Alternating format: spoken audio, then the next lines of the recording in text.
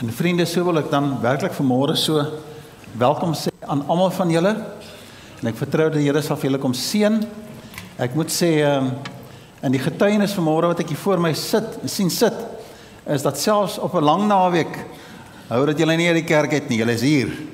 En ons is hier om die Here groot te maak. Is dit nie so nie? En ek wil dan vanmôre dan so welkom sê soos ek dink Johan dalk al die mense aanlyn ook welkom geheet en die wat al gaan luister na hierdie video na die tyd. Ek wil net weer 'n spesiaal welkom sê aan my ou vroutjie Wendy. Sy hardloop die presentation daar agter. Kyk, nou in die Johan loop ons hier met 'n klikkertjie rond. Ek is nie ek is nie daai tipe nie. En uh, want ek raak nie mekaar. Ek weet nie wanneer is voor en was agter nie en bo en onder nie. Maar Wendy, uh, my my kleindogter was in Desember hier gewees en toe gepreek het. Sit sy daar by Wendy, maar sy's 'n stil kind. Sy kyk hier goed net so uit en sy sien wat ouma doen en alles. En die eerste ding wat sy vir my sê toe sy my hier in die voorportaal kry, sy sê oupa, maar jy het nou baie goed uitgelaat. sê ja my kind, gelukkig het ek iemand soos ouma wat weet nee wat hy daai alfie vergeet, dan gaan sy so lank aan. So baie dankie Wendy dat jy vir my help daar agter. Ek wil ek dankie sê van almal wat vir my gehelp het met die voorbereiding van die boodskap ook. Ek is 'n paar mense wat ek genader my vriende Obani Collins se huis vanmôre saam met ons dokter Rudy het vir my gehelp. Ons predikant het my gehelp in die kantoor ook. As 'n ding my hart aangryp, dan stap ek gaan toets ek dit daar met die dames, jy weet. Dan kyk ek na hulle reaksie. En ek wil vir hulle ook dankie sê dat hulle so verdraagsaam is en vir my gehelp het en ook almal wat gebid het vir vanmôre se diens. Ons moet onthou Vrydag was die kruisiging. En toe staan stilte. Doodse stilte. Daar's 'n klomp disippels wat verward is Daar's mense rondom die kruis wat teleurgesteld is. Hulle wou graag 'n koning gehad het en die kruisig hom. En ek weet nie of julle dalk so ervaar het, mense wil so graag 'n ding doen. Jy's so oortuig oor 'n saak as nou plaasgevind het, dan is dit so 'n negatiewe ervaring en ek dink dis wat die mense beleef het. Hulle het nie die satisfaksie gekry om Jesus te kruisig nie, want dit was mos nie reg geweest nie. Doodse stilte. Dan die vroue wat huil, hulle kan nie dadelik by hom uitkom nie en vroeg die oggend het Maria moontlik dieselfde tyd as nou soos ons. Dit was so in die oggend gewees. Sy moes ver stap om by die graf te kom. Kom sy daar en sy sien die graf is leeg. En dit is wat ons vandag vier in 'n omstandigheid wat niemand het verstaan het nie. Hulle het nie verstaan wat besig was om te gebeur nie. En soos die Here Jesus verskyn het aan mense, die waarheid stadig maar seker het dit opgekom. En ons is vandag hier om deel te wees van die manne en vroue en die skares van mense wat kan glo in die opstanding van die Here Jesus Christus. Mag die Here regtig vir ons vanmôre hier kom ontmoet. ek met my haas. Ek het twee skrifgedeeltes wat ek graag dan aan julle wil voorhou. Die die een gedeelte is in Romeine 6. Ek sal bly wees julle self vir die huis gaan bestudeer want meeste van my boodskap kom uit Romeine hoofstuk 6 uit, maar die anker van hierdie gedeelte wil ek graag aan anker in 'n profesie wat in Jesaja 6, die tweede deel van Jesaja geprofeteer is waar waar Jesus het ge, uh, geïnspireer het in die hart van Jesaja.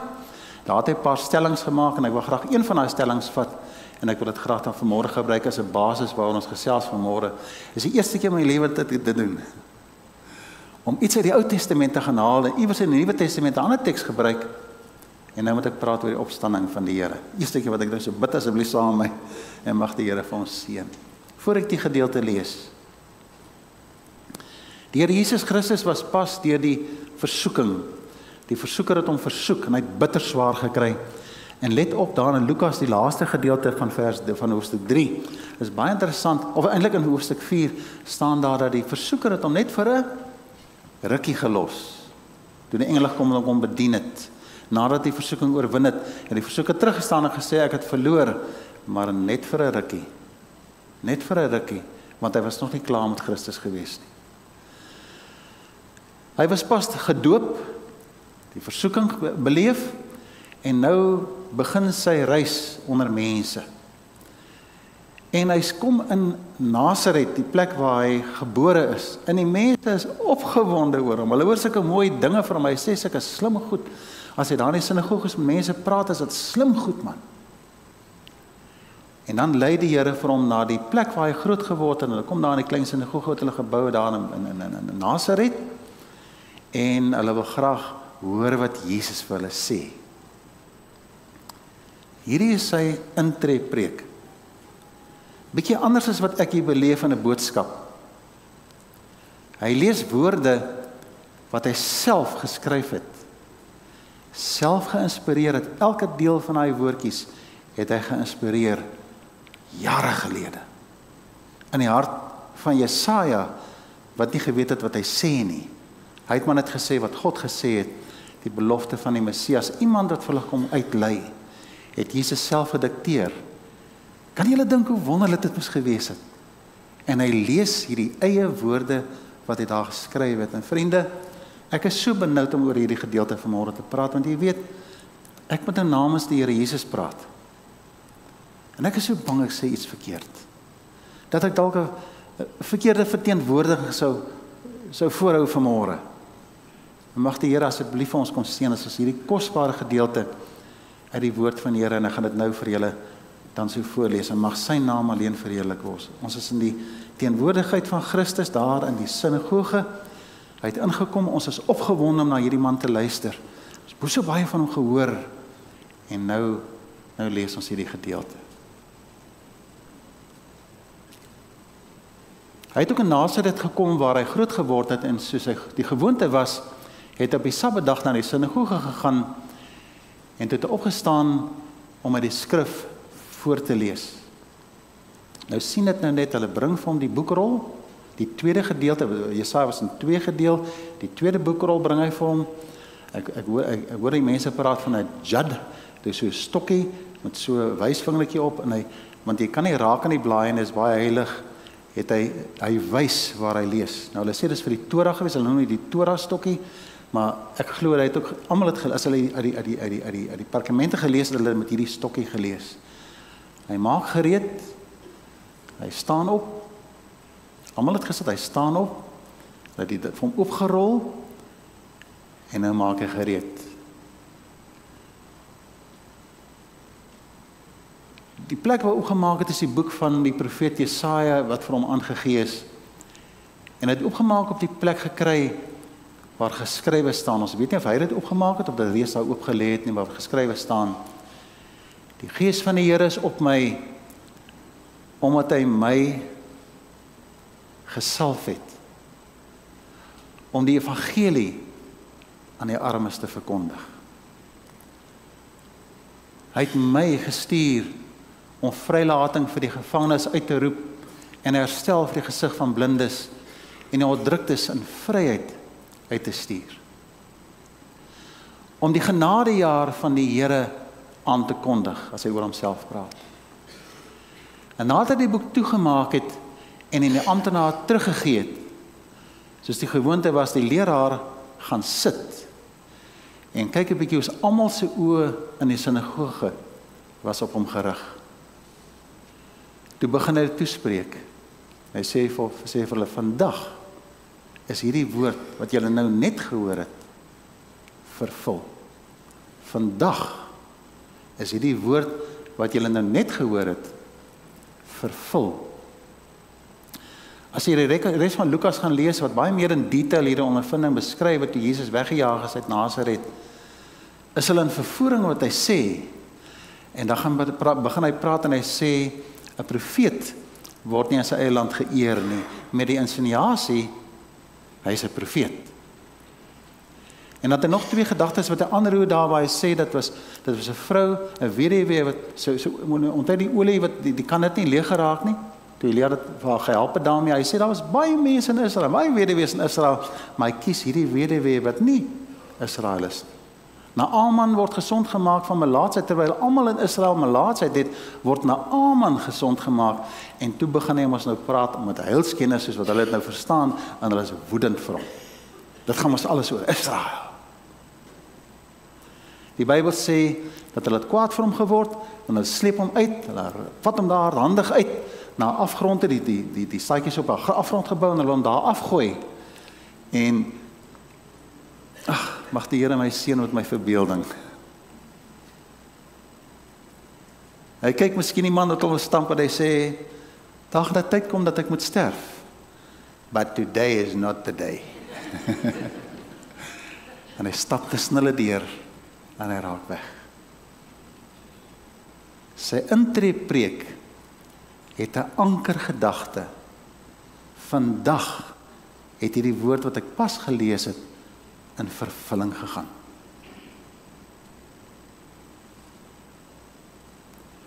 Die woord wat in vervulling gegaan het is vanmôre in hierdie gemeente ook. U is hier omdat daai woord waar geword het in jou lewe en in my lewe. Geen ander rede nie. As jy om 'n ander rede vanmôre by die kerk is, ehm um, ain't gonna work. Ons is nie hier om na enigiets anders te luister, geen ander vuur in ons hart as die dag van die opstanding van ons Here Jesus Christus waarin ons met ons hele hart, ons hele wese en alles wat binne in ons glo ons dit. Ek moet hiermee saam ook net 'n kort gedagte gou met julle deel want ek ek probeer altyd al my boodskappe skoei hierop. Onthou net dat in Adam het alles gebreek.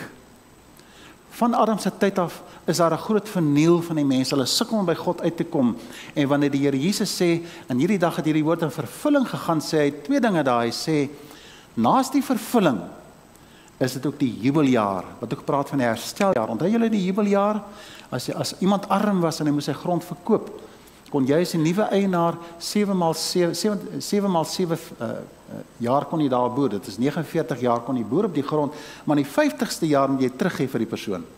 Intussen kan die persoon probeer om dit terug te koop, sy familie kan terugkoop, maar as dit nie kon regkry nie, in die 50ste jaar, die jubeljaar, is die hersteljaar, dan gee dit terug vir die oorspronklike eienaar daarvan. Dis die jubeljaar.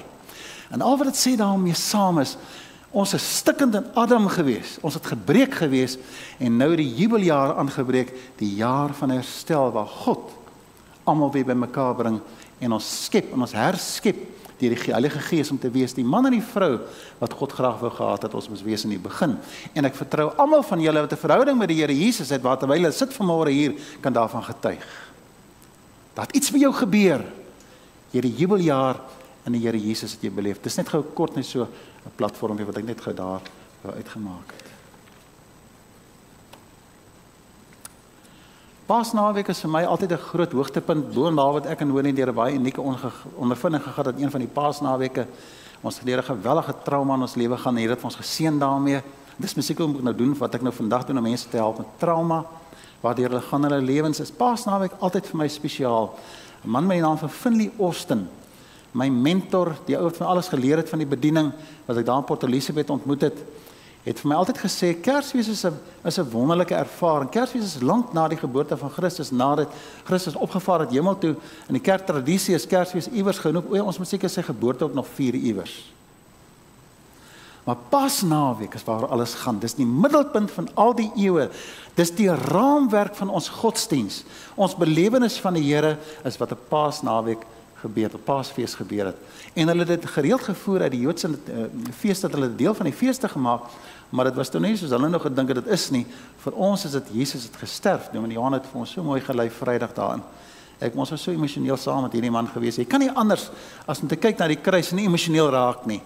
En nou praat ons oor die opstanding. Die opstanding is die die beginsekonde van alles naas die aarde wat geskape is, en dit is reg geskape, het die mens geval en hierdie sekonde is die nuwe skepping in die mens toe Jesus opgestaan het. Ek wil graag hê ons moet net daai term so bietjie verander en sê dis oorwinning oor die dood. Die versoeker het die mense vasgehou en hy het hom oorwin die oomblik toe opgestaan het uit die dood uit. Die enigste persoon wat baie gespanne was op baie paasnaweek van Christus gesterf het tot hy opgestaan het was die versoeker. Hy het nie geweet wat gebeur nie. Hy het gedink hy het Jesus gehaat. Hy het hom nou doodgemaak. Daar sterf hy.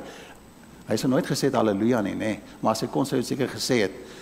Hy is so bly daaroor en dan verstaan hy wat gebeur nie. En dan staan Jesus uit die dood uit op en dit daarom wil ek graag hê ons moet sien die opstanding van die Here as opstaan uit die dood uit. Nou vra ek vandag vir u hoe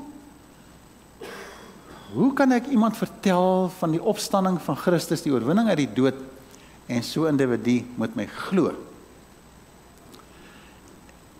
Een van die dinge wat ons baie versigtig moet wees wat nie altyd werk nie is jy kan nie altyd die Bybel gebruik as 'n bewys nie. 'n Ongelowige glo nie in die Bybel nie. Hy stel nie belang in die inhoud van die Bybel nie. En dan kom jy met die Bybelversies na hom toe, stel hy daaraan belang nie.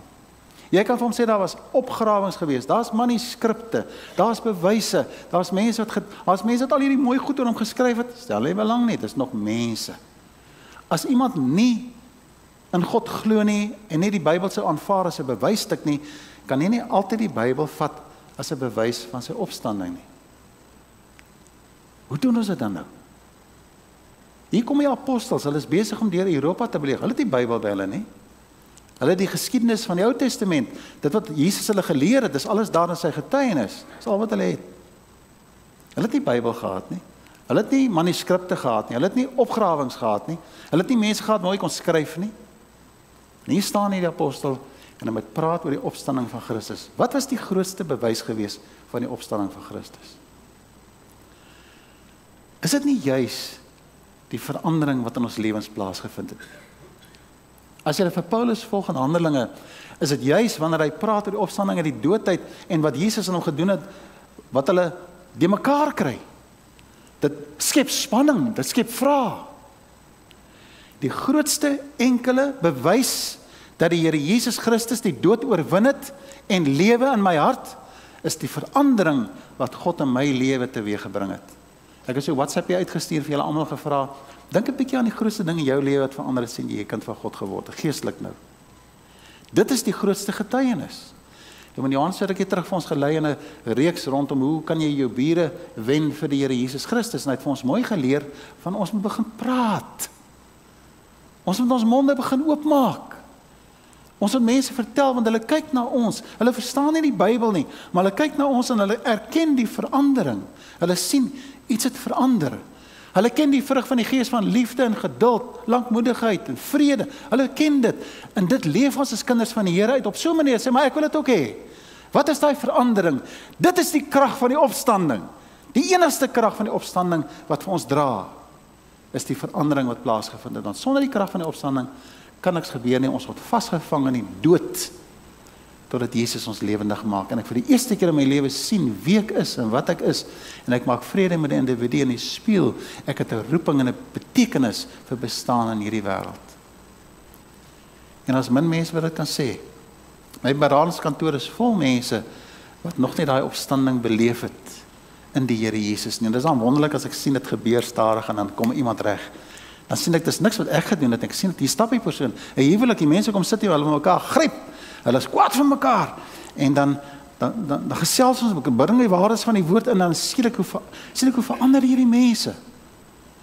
En nie voor my sonder enige terapeutiese aanraking of enige pastorale wysheid, sielkunde, wat ook al, hier voor my verander hierdie twee mense, hulle gryp mekaar vas. En ek sien daar stap hulle met die Here. Dit is die opstandingskrag van die Here Jesus. Want die Here vir ons help in hierdie gebrokenheid van ons. Miskien net so laaste gedagtetjie, maar ek hoop nou nie ek het iets uitgelaat aan jou. Ehm um, kom saam met my en praat ons 'n bietjie oor die opstanding. Hierdie beeld wat ek nou vir julle geskep kry nie in die skrif nie. Maar dis my die mekaar kop en iewers verraad hy die Here my seën hiermee. Maar wanneer ons vanmôre sien Ons weet nie wanneer hy opgestaan het nie. Maar ons gees is oog sien as iets het wonderlik gebeur daar in daai grot, daar in daai graf. Iets het wonderlik daar gebeur.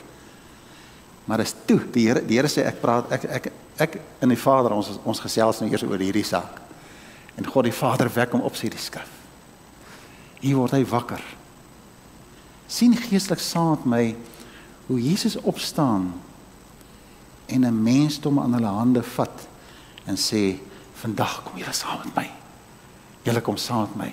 Julle gaan nie meer deur die dood vasgehou wees nie. Die versoeker is benoud en Jesus trek hulle een vir een trek hulle uit die dood uit op.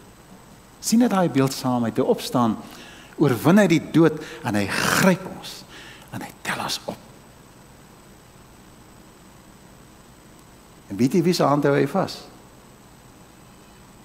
Hou jou hand vas. Nou jou hand vas.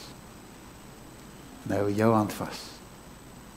Hy noem jou by die naam en hy sê: "Chris, kom saam. Jy bly nie in hierdie dood nie. Vandag staan jy saam met my uit die dood uit op." En wanneer ek Romeine 6 lees, Dan lees ek hier mooi gedagtes ons soos met die doop nie, ons is met hom begrawe in die dood. En ons staan met hom wat op in 'n nuwe lewe soos wat hy vir ons optrek. Mag die Here seën met daai beeld oor die opstanding van Christus. Ek is deel daarvan. Die verandering in my lewe is 'n getuienis daarvan. Ek kan nie anders as om kind van God te wees en te glo in die opstanding van die Here Jesus Christus nie. Dis die jubeljaar waarna Jesus verwys het in die profesie. Dis die jubeljaar van herstel. Uiteindelik het die Here my kom regmaak en deur die opstandingskrag en dis die gedagte wat ek by julle wil los ek nie. Opstandingskrag van in Christus het my lewe onherroepelik verander en dit bly steeds elke dag verander. Dis nie verandering net eendag, daar's 'n klomp goed wat die Here moet werk in my lewe. Daai man sê mos vir my, "Dominee, ek is alright. Ek is so 98% as ek reg. Ek sukkel nog met die laaste 2%." Ek sê ek kan nie verstaan nie. Hoe langer ek met die Here loop, hoe meer tel die ding af. Ek bedoel ek het seker gedink ek was 100% gewees, maar toe die Here my begin werk, nou tel hy af. Ek is amper by 1 deesdae, soos wat die Here met my werk. Hy kom verander ons elke dag kom raak hy ons aan. Dit is die opstandingskrag van ons Here Jesus soos dit werk in ons lewens. Nou kom ons kyk gou-gou. Ek het drie gedagtes wat ek uit Romeine hoofstuk 6 net so vinnig gou met julle wil hanteer. En dit is dat die opstanding van die Here Jesus Christus in die eerste plek beteken vir my dat my verlede is vir altyd verby. My verlede is vir altyd verby. Dis die grootste onderwerp in my kantoor en my tye van berading met mense. Is ons verlede. Die versoeker se grootste taak is om jou te herinner aan jou verlede. Aan jou sonde, aan jou foute en jou gebrokenheid in Adam. Maar wat dink aan die opstanding van die Here Jesus Christus sê ek, waarvan praat jy? Ek het lank ek is nou oor 65, ek lank al dit al vergeet al. Ek kan dit nie meer onthou nie. Wanneer die Here in ons harte inkom, kom verlos hy ons van ons verlede. Romeine uh 6 vers 2 sê die volgende beslis nie, hoe kan ons wat dood is vir sonde nog daarin voortleef? Ek gaan nou vir julle vertel van hierdie teks. Hoe kan ons wat dood is vir sonde nog daarin voortleef? En dan die wonderlike ander teks wat vir my kosbaar is daarin Filippense 3 vers 13 wat sê broers 53 vertaling broers ek verweel my nie dat ek alles al het nie maar een ding doen ek ek maak my los van wat agter is en strek my uit na wat voor is Predikant hoe kan jy sê ek sondig nou nie meer nie Wanneer ek 'n ding het in my lewe wat my pla dit begin mos soos jy tot keer kom o hierdie ding wat ek eerste aandag aan gee Dis ding wat my die meeste pla in my lewe. Nou begin werk jy met die Here en die Here vergewe jou en jy kry die oorwinning en jy los dit. Los dit. Jy gaan haal hom nie weer nie. Hy's klaar, hy's in die bloed, hy's weg. Vers 20, maar as hy teks daar vers 20 net voor dit hoofstuk 5 sê die wet het bygekom en die oortredings nog meer te maak. Hoe, hy hy sê hoe meer sonde geword het, oorvloediger het die genade geword. So nou nou, nou, nou dat hierdie een afgehandel is, hy's klaar. Ek kan nooit weer daarin teruggaan nie. Ek sal ook nie. 'n Dronkaard wat homself elke naweek besimpeld gedrink het, wat onder die oortuiging van die Heilige Gees kom en hy kom tot bekering en hy sê, dis die eerste ding in my lewe wat ek aandag moet gee. Ek los dit, ek los dit en hy struggle so vir 'n maand of twee dit en dan los hy dit. Hy sal nooit weer terugkeer om 'n dronkaard te word nie. Nooit weer nie. Dis weg. Maar nou dat ek kind van God is, nou het ek nog meer genade van die Here nodig. Nou nou moet hierdie genade meer oorvloedig word want die Here hier is die volgende hier is nog 'n ding wat vir my ek is jaloers. Ek moet aan aandag gee. Uh, ek ek word vinnig kwaad. Ek moet aandag daaraan gee. En soos die Here vir jou die oorwinning oor hierdie goed gee, parkeer jy dit om nooit weer terug te gaan nie. Dis verby. En dit beleef ek saam met Paulus. Hy skryf dit mos hier. Hy sê ek vergeet dat agter is strek my uit na kan julle dink hoe wat deur Paulus se hart gaan nagte na tot bekering gekom het hy besef wat die waarheid is sien hy en hy hoor in sy hart die hordes vroue en kinders wat hy laat gevange neem het om Jerusalem weg toe te gaan. Hy hy het met vuur het hy die mense gejag. En nou kom hy agter is die waarheid dis verkeerd geweest dis verkeerd. Ek het 'n fout gemaak. Ek kan niks aan doen nie. Here vergewe my. En God vergewe hom. Maar hy laat nie toe dat dit hom vashou nie. Want hy het 'n roeping en 'n taak waartoe God hom geroep het. Sien die dinge wat verby is soos water onder 'n brug deur. Ek wil nou nie julle my storie vertel nie. Maar die dag toe die Here my siel gered het, het hy my persoonlik gered van 'n heenes verlede. Die familie waarna ek was, oor dat hy my gered daarvan om nooit weer terug te gaan nie. Trouwens ek het meer respek vir my pa gehad na my bekering. Hy het niks verander nie. Maar ek het respek vir hom gehad want God sê eer jou vader en jou moeder. Ek het erken hy is my pa. Hy sal nooit my pappa wees nie, maar hy is steeds my pa. Dit het God vir my kom gee. Voor dit was ek 'n rebel. Geen respek vir hom gehad nie. Maar na die Here se siel red, is dit verby. Jy beweeg vorentoe. Mag die Here vir julle seën. Vriende, ons moet loskom van die dinge wat ons vashou. Ons moet nie toelaat dat die God ons vashou. Die opstanding van die Here Jesus Christus beteken hy het uit die dood uit opgestaan om my van my verlede te verlos. En ek kan vorentoe beweeg met hom want dit beteken hoe kan ons wat dood is vir sonde nog daarin voortleef? wanneer God ons help om die rebellie in ons hart los te maak en ons nooit weer daarin terugkeer nie. En ek wil graag net hierdie eendag gedagte aan by julle gelos het. Deur die opstanding van die Here Jesus uit die dood het, het hy my finaal kom bevry van my verlede.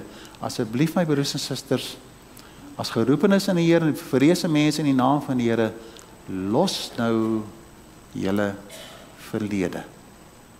Jy kan niks aan doen in elk geval nie. Moenie laat dit die anker word in jou lewe nie. Tweede gedagte wat ek graag met jou wil deel is dit beteken dat daar is 'n nuwe lewe vir my. Nou dit is nou 'n moeilike saak om 'n ander 'n nuwe lewe in my. Die krag van die opstanding skep in my 'n splinter nuwe lewe. Daarom daai teks wat ek nou nou aangehaal het.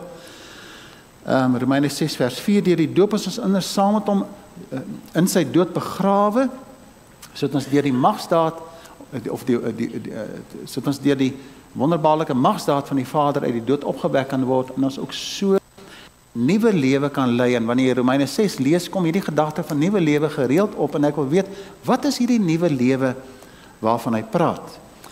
Ons lees ook daar in uh in 2 Korintiërs 3 vers 18 ons almal weerspieël die heerlikheid van die Here wat die sluier van ons gesig af weggeneem het Ons word al meer verander om aan die beeld van Christus gelyk te word. Daar's werk in my wat gedoen moet word. Die heerlikheid wat ons aan uitstraal neem steeds toe. Dit doen die Here. Uh, dit, dit doen die Here wat die Gees is. God kom maak daai, hy gaan verder met ons op hierdie pad van oorwinning en die wyse waarop hy vir ons seën. Ek wil graag 'n 'n ware verhaal aan julle voorhou wat Dr. Rudy vir my deurgegee het en uh, ek weet hy luister nou vanmôre En ek mag dalk 'n bietjie feite de mekaar kry deur Rudy, Rudy vergeet my. Vergewe my. Maar ek het ek het maar baie verbeelding hierso. So hier is hierdie klein plekkie uh in in Chili met die naam van San San Fernando waar daar 'n klomp Gideons besig is om Bybel te versprei. Om 'n baie lang storie kort te maak, hulle kom by die skooltjie daar.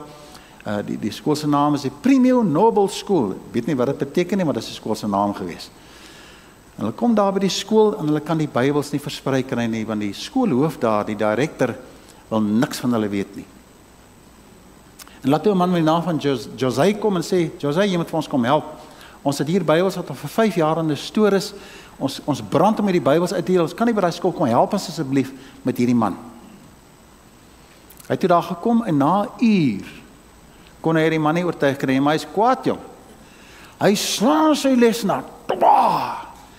Hy sê okay, hoogs gefrustreerd. Hy sê okay, kom saam met my. En hy stap te by die eerste klas en hy prik daar pluk daar so twee seker maar belle almal uit twee. Dis altyd seuns as ons die belle almal nê. Hy pluk hy twee seuns, hy sê kom hier. En hy maak hulle staan daar in die skool skool opening waar hulle seker maar by mekaar kom en hy gaan na die volgende klas en hy trek nog wel 'n klomp en hy trek 'n klomp uit en nadat hy 25 van hierdie jong mans, maar jy kan sien hulle is die mekaar hierdie laities jong. Hulle is sommer lus vir moeilikheid. En hy sit hulle daar voor hulle en sê: "Ek as julle kan oortuig. As julle kan oortuig, dan kan julle die Bybels uitdeel." Hy arme man sê hy sê: "Wat nou? Wat nou?" Hy gaan vir hulle Engels lees wat hy toe nou gedoen het. Hy sê: "I spoke to them with a very loud voice. Until when? Until when make you family suffer?" Die sê so. Until when will you make your parents suffer? Until when will you make your teachers suffer? Don't you realize that nobody loves you? En hy sê almal se almal se koppe sak daar in skaamte. Hy trap hulle vas af van 'n kant af. En dan verander hy sê, "But I'm going to tell you something. There is someone that still loves you. His name is Jesus Christ." How many of you want to be different? Daar gaan hierdie 25 jong mans uit. How many of you want to change your lives?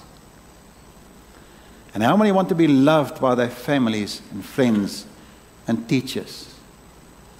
En al 25 steek hulle hande op. En hy lei hulle na die Here toe. Terwyl hierdie direkteur hier staan natuurlik nou, né? Hy kan nie glo wat hy sien nie.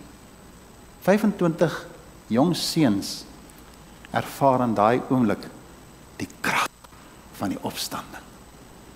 En in daai oomblik het vir daai 25 kinders die profesie van Jesaja in vervulling gegaan. En hulle het in daai oomblik die jubelingsjaar beleef van herstel. Jy skool stap toe van klas tot klas. En hy sê luister maar wat hierdie mense sê, luister wat hulle sê en toe hulle kom hulle klaar is, toe sê jy, Jose, kom saam met my, net jy. Hy stap in na sy kantoor toe en hy sê vir sy sekretaresse, "Moet my nie niemand my nou plan en hy maak die deur toe en hy vat hom en hy maak die deur toe en hy sê: "Sien daai stoel? Dis waar ek slaap. Sien daai tafel? Dis waar ek eet. My familie het my weggejaag. Hulle het my nie lief nie. Dis waar ek bly en dis waar ek is die hele tyd. Hy sê vir hom maar daai 25 jong seuns daar daar gekry het, wil ek ook hê. Ek wil dit ook hê. En so begin die krag van die opstanding. Ek wil dit ook hê. Ek lees vir julle weer in Engels wat daar gebeur het.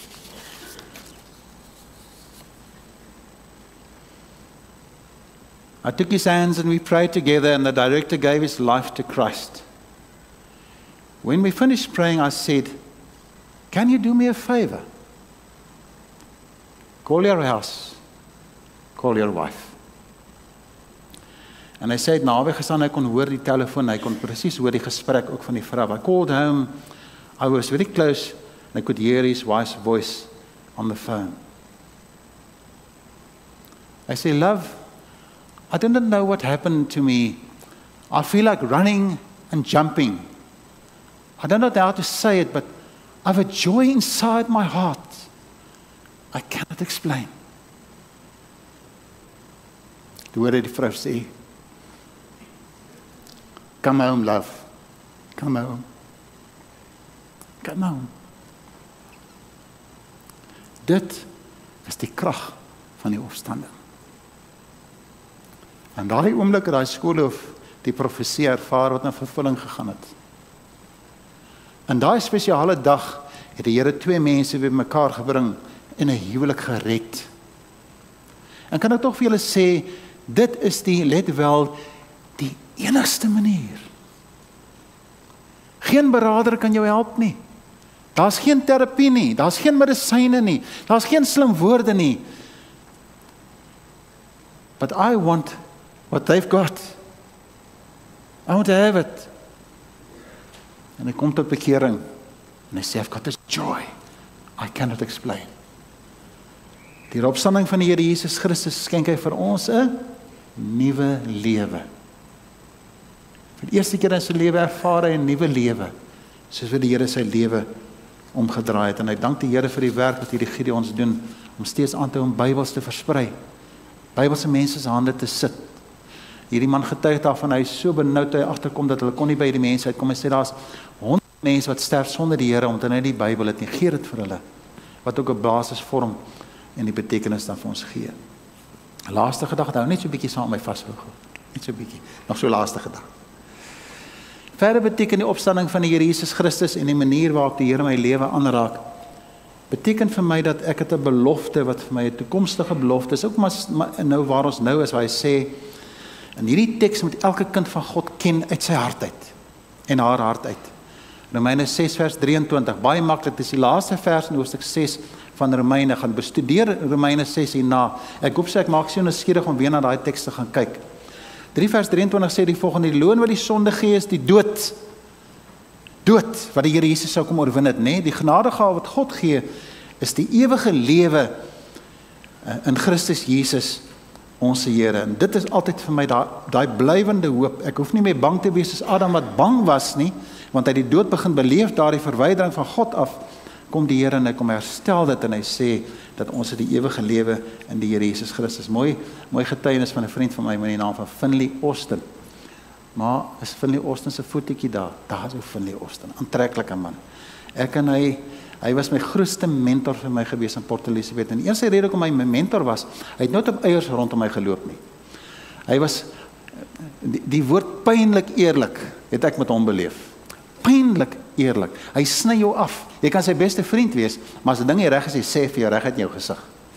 Daar's ander goedjies wat jy van wat jy van hom kan vertel wat mense gemaak het. Hulle was vreesbevange vir hierdie man as hy begrafnisdiens hou want hy daar 'n paar interessante goed kwyt geraak daar by daai begrafnisdiens. Jy weet iemand ken nie die Here nie. Maar kom ons vergewe nou vir Finnie daarvoor. Finnie stuur 'n WhatsApp uit na ons almal toe en al sy vriende uit stuur uit Celebrate my life, not my death. I only have weeks to live, not very long anymore. Not months. En in daai oomblik ruk die Here my hart En ek sê vir mamma, hoe lyk ons budget maar? Ek wil vir hom gaan kuier. Al kan ek dit 'n rukkie met hom spandeer en Wendy sê sy is altyd slim met die goed. Sy haar kop as hy so begin hardop bestaan ek nou terug dat sy nou eers die ding uitwerk vir my en sy kom terug en sy sê ek het 'n vliegtuigkaartjie vir jou. Jy vlieg 2:00 die middag aan, jy vlieg weer 7:00 die aand uit. Jy het 'n uur wat jy by hom kan spandeer. Ek sê bespreek. Klim op die vliegtuig. Ek hou niks van vlieg nie. Klim op die vliegtuig, kom ons nou daar aan. Hy kom daar by sy en sê Finley, tell me about it. Hy sê wel hy het 'n hoogs aggressiewe kanker aan sy dikterm met hulle ontdek. Onder andere het ook uitgevind dat daar's iets met sy hart nie lekker en hy praat van lig en water en goed. En hy die, die dokter sê okay, nou moet ons nou, nou moet ons beplan hoe gaan ons nou die ding nou werk. Hy sê you stay away from me. I'm ready to go. hy hulle praat van chemo, hy sê chemo, nee, ek gaan nou huis toe. hy sê Chris, die Bybel praat van 80 jaar, ek is al 82 jaar, ek begin al oor, ek begin al rente trek op die saak. Ek's reg om te gaan. Sy vrou kom sit daar, sy's die lieflikste mens. Daar's geen trane of emosie by haar nie. Al wat sy wil hê is haar man moet net nie swaar kry nie. Hy wil nog 'n bietjie langer aanhou tot sy 80 is. Hy sê sy nee, jy moet gaan as jy moet gaan. Hy sê my lewe is reg. Los my. Ek vra toe vir Finley. Finley? Jy weet nou ouers mos maar altyd het mos 'n skelle motief partykeer want hy het altyd vir my preke gegee. Jong prediker gee my preke. Ek hy van so laaste preek het in my trek sê Finley, what does the Eastern weekend Easter weekend mean to you the resurrection of Christ? Want ek mos 'n preek daaroor hy sê the hope that I will live after I die. I'm going to meet Christ. En ek sê van van ek jaloers op jou man. Sis man. Jy gaan die Here sien voorkom sien. Hoe kry mense so gesindheid? Hoe kry jy dit anders as wat jy die lewe van die Here Jesus in jou lewe het? En nie bekommerd is oor hierdie lewe waar ons nou is waar die dood regeer en heers in ons samelewing en sosiale media en WhatsApps en chat WhatsApps en dit daai chef. Dan ek kan nie wag as jy nog gaan opstaan nie, dan moet jy daai foon in die hande kry. Bybel, nee, los dit by. Ek moet net daai foon in die hande kry. Ek kan nie reis los van my foon nie. Ek moet my foon by my hê. O, as die battery pap is, o, waar gaan ek nou gelaai kry? Vasgevang in hierdie wêreld wat met sy tegnologie en die maniere ons lewe die mense kom wegsteel en hulle vashou in die dood. En hier is 'n man wat sê, "I want to go, man. Los my. Ek wil huis toe gaan." En daar's geen selfmoord wens nie. Dit is geanker. Dit lees veel uit die boodskap uit Filippense 1:21. Hy sê om te lewe beteken vir my om vir Christus te lewe. Ek kan soveel dinge nog vir hom doen. Dan sê hy die volgende, hy sê, "Maar om te sterf sal aan die ander kant ook nie sleg wees nie." Ek wil by die Here wees. Dit is die krag van die opstanding. Daar's niemand so gevaarlik soos 'n soldaat wat bereid is om dood te gaan nie. Is dit nie so nie? Daar's geen kind van God so gevaarlik van die magte van die duisternis as iemand wat die passie van die Here Jesus in sy hart het nie. En ek het vanmôre gesê Ek hoop nie iemand dink as môre kwaai as ek op die kansel staan nie, maar ek is net passievol man. Ek het nou vir iemand gesê ek ek voel soos Jack Russellkie met 'n ou tekkie man. Jy weet ek wil ek wil hom werk. Ek wil vertel van die Here, ek wil vertel van die opstanding. Ek wil vertel van die lewe in die Here. Ek's opgewonde daaroor. En daarom is is die die die opstanding uit die doodheid en die wyse waarop die Here vir ons verlos vir my so kosbaar. Ek hoor ten slotte my vriend Finley se woord hy sê Chris, I'm ready to go. Ek hoor die profesie van Jesaja wat sê die gees van die Here is op my omdat die Here my gesalf het om 'n blye boodskap te bring, hierdie blydskap waarvan ek nou getuig het aan die ootmoediges. Hy het my gestuur om te verbind die gebrokenes van hart, om die gevangenes in vrylating uit te roep en die vir die geboeides die opening van die gevangenes. Filippense 3 vers 10 lees die volgende: Al wat ek wens, daar's hy, is om Christus te kan ken, die krag van sy opstanding te ondervind en deel te hê aan sy lyding deur aan hom gelyk te word in sy dood. En die verwagting dat ek self deel sal hê aan die opstanding uit die dood. En 'n teks wat ons almal ook baie baie duidelik kennis van moet neem. As jy met jou mond bely dat Jesus die Here is, dis maklik om dit te doen nê, en met jou hart glo dat God hom uit die dood uit opgewek het, sal jy gered word. Mag die Here vir ons bewus maak van die voorreg om hom te ken as die verreëse heiland, die een wat uit die dood uit opgestaan het. Kom ons bid net saam. Here, soos die magte van die doderyk u probeer vashou, het weet ons dat ons krag is in een u opstanding wat u vir ons namens ons kom optrek het en ons kom verlos het. En die krag van die opstanding is my wonderlik hier om saam met hierdie man en vrou en almal wat aanlyn luister, u naam groot te maak te sê Ek weet waarvan daai man praat. Ek het dit self beleef. Ek glo in die opstanding van Jesus Christus. Ek is meer as 'n oorwinnaar. My verlede hou my nie vas nie. Ek ervaar die nuwe lewe in my binneste, beleef ek dit en die hoop in my hart sal nooit wyk as ek U eer en U aanbid en sê ons is meer as oorwinnaars wanneer Jesus na hierdie wêreld terugkom, dan kom haal hy vir my. En as ek nou moet sterf nou, dan weet ek ontmoet hom. Ons sien met verlange uit, Here, om by U te wees. Amen.